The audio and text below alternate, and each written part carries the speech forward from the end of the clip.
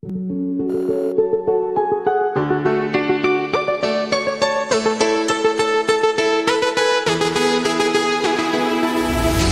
used to hide under the covers, seven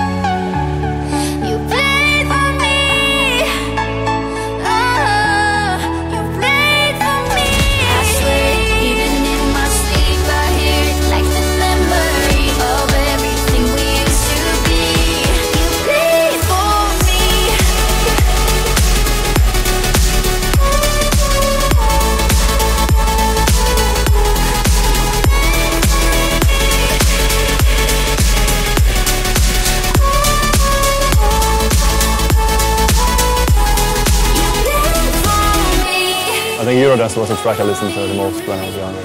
Same. How's it going? It's going to be good.